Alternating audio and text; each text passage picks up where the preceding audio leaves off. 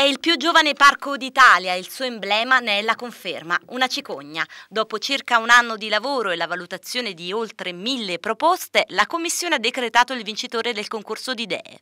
Ho trovato che la cicogna eh, potesse essere un animale rappresentativo, eh, ho voluto rappresentare soprattutto tutto quello che è l'ambiente del parco eh, dell'Appennino Lucano, che è un ambiente umido ci sono tantissime alture, ci sono le murge di Santo Ronzo. Il commissario del parco ha manifestato la speranza che il logo ufficiale possa essere condiviso da tutti e sentito come immagine identificativa per le comunità.